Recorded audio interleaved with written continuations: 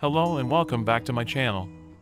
In this video, I'm going to explain what the PF error on an LG washing machine means and how it appears.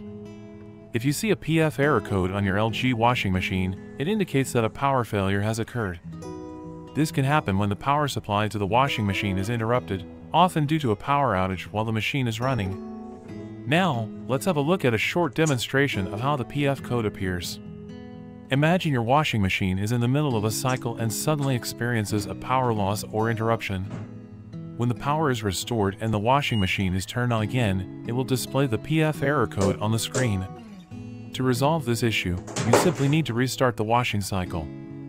Once the power is back and the washing machine is turned on, press the play stop button, and the machine will resume the cycle from where it left off.